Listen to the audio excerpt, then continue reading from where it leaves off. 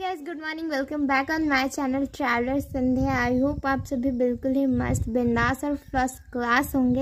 हम भी बिल्कुल ही ठीक हैं। तो मेरा हॉस्पिटल वाला ब्लॉग था गाइस जिसमें मैंने आपको बताया था कि मम्मी के आई चेकअप के लिए जा रहे हैं। वो कल ही मैंने अपलोड किया है। बट आपको मैंने सारी अपडेट्स तो दे ही दी थी उसमें बट हमें घर आने में पूरे आई थिंक रात के आठ बज गए थे। इसलिए मैंने उसमें एंडिंग शूट नहीं की है। और उसी दिन अपलोड कर दी थी। एंडिंग शूट करना एक्चुअली भूल गए थे, बहुत ही ज़्यादा रात हो गई थी तो। और मैंने उसमें बताया भी नहीं आपको कि रिपोर्ट्स में क्या निकला है मम्मी के तो रिपोर्ट्स एक्चुअली थोड़ी सी सीरियस है उसमें प्रॉब्लम मतलब जो आई का रेटिना होता है, उसी में फ्लूड रहता है, जिसकी वजह से हम लोग कोई भी चीज़ को रिकग्नाइज कर सकते हैं कि एक्चुअली में वो है क्या और उसका कलर वगैरह जो भी है। तो रेटिना में जो फ्लूड होता है, वो बढ़ गया है।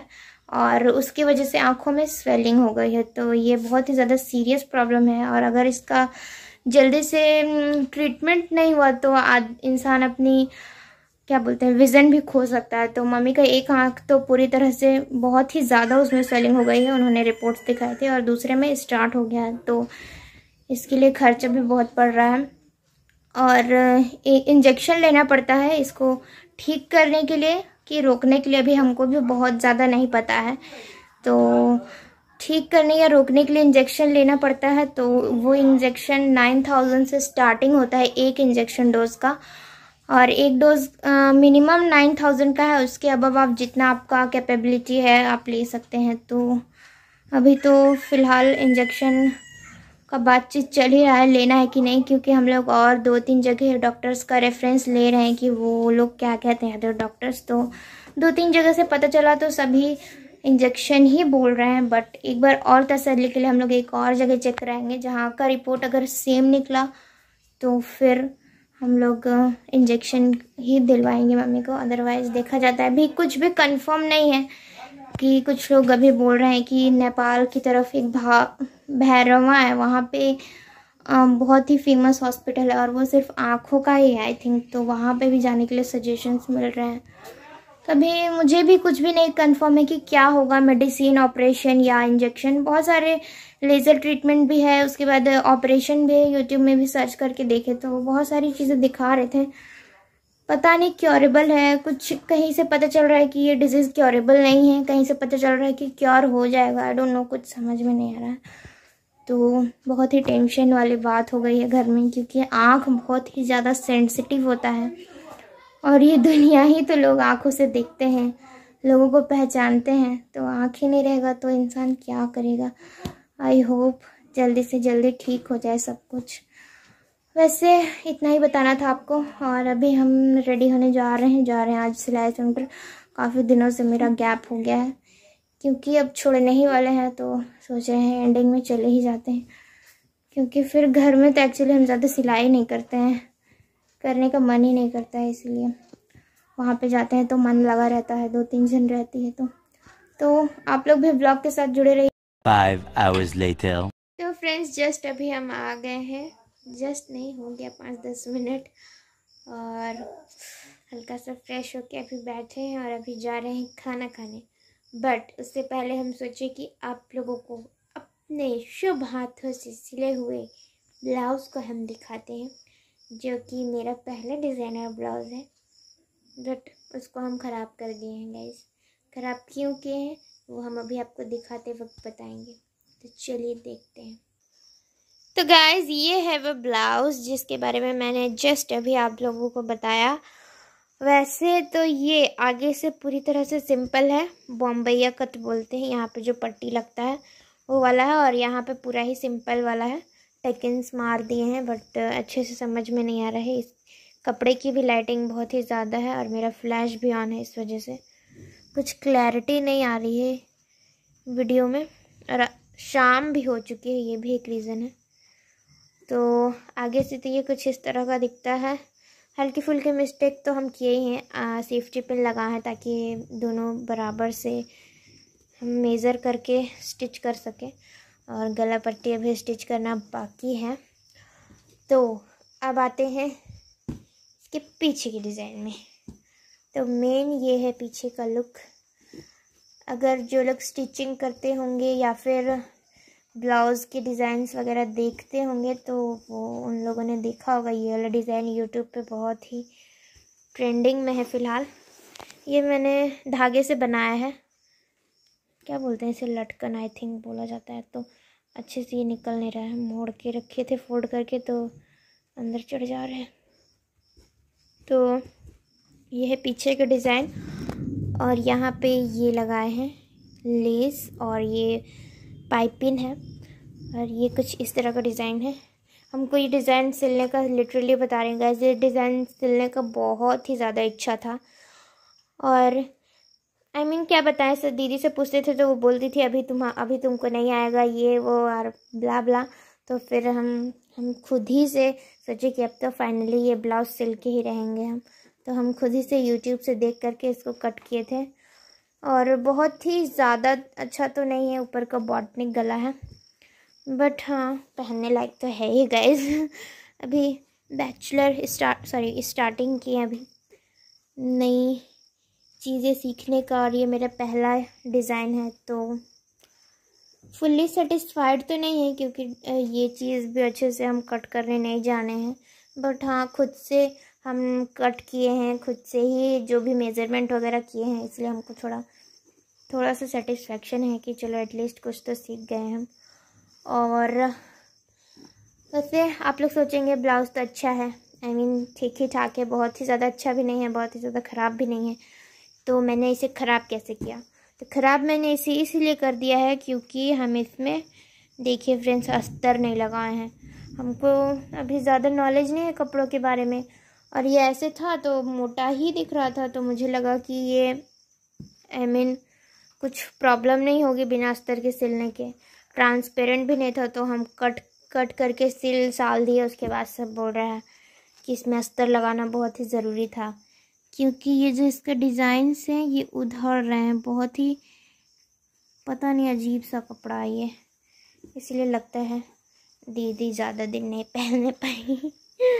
बेचारी का ब्लाउज हम बिगाड़ दिए। बट ओवरऑल तो ठीक ही ठाक है गाइज़ बस अस्तर के वजह से इसकी लाइफ थोड़ी सी कम हो गई। थोड़ी क्या एक्चुअली बहुत ही ज़्यादा, क्योंकि हमको भी अब लग रहा है कि ये कपड़ा ज़्यादा दिन नहीं टिकेगा। विदाउट अस्तर, अगर अस्तर रहता तो ये अच्छा खासा चलता। तो यही था मुझे आपके साथ शेयर करना था। और अब जा रहे हैं हम खाना खाने। मिलते हैं आपसे थोड़ी देर में। क्या हुआ? क्या हुआ? हुआ क्या तुम्हें? तिन्ना आगे दिखा दे, तिन्ना तिन्ना तिन्ना तिन्ना तिन्ना हो जाएगा बेटू हमारा, तिन्ना हो जाएगा। ऐसे नहीं, ऐसे हाँ।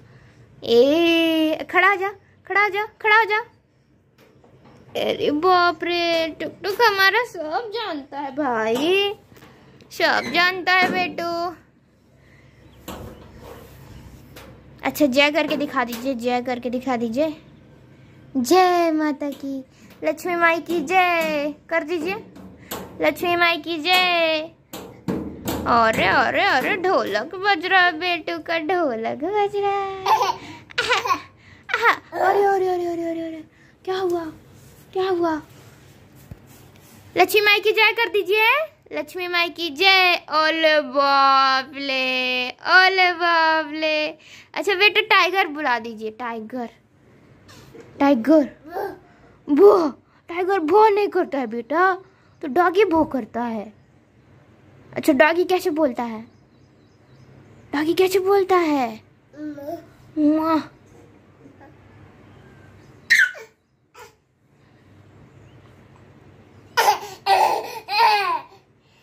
गुछा रहा है बच्चा। क्यों गुछा रहा है?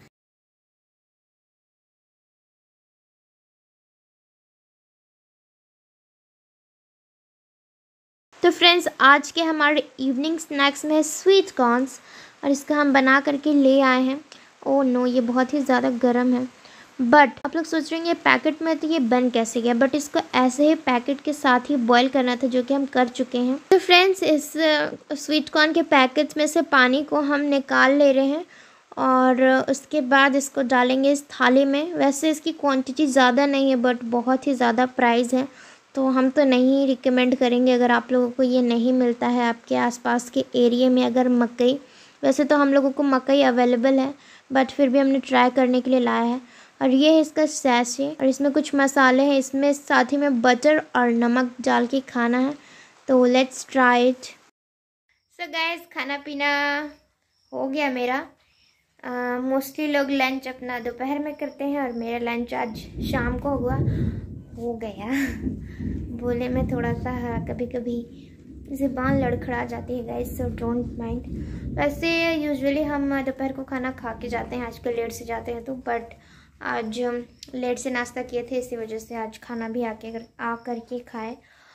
और पॉपकॉर्न भी खा लिए, पेट पूजा सब कुछ कर लिए ब्लाउज भी दिखा दिए टुक टुक की मस्ती भी दिखा दिए।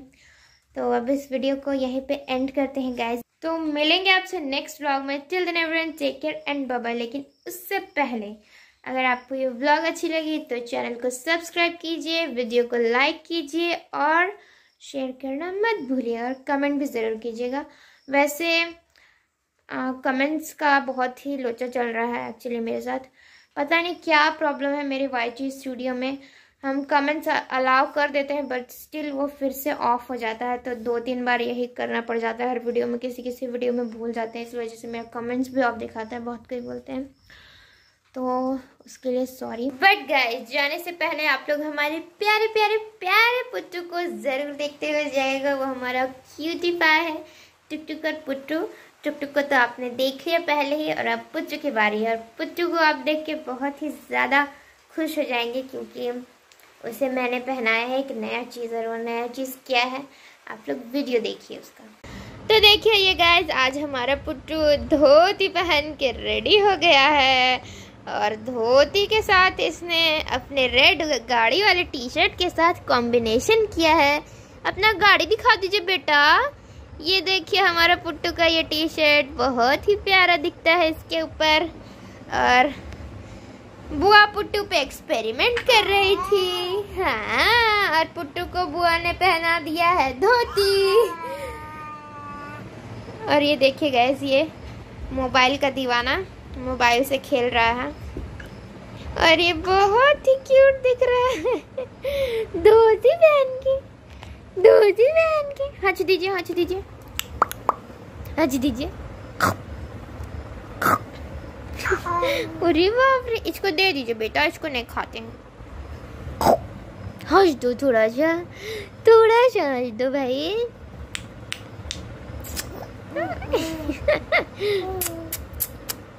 बेटू के पापा कहाँ है? ओले बाबले पापा कहाँ है बेटो के?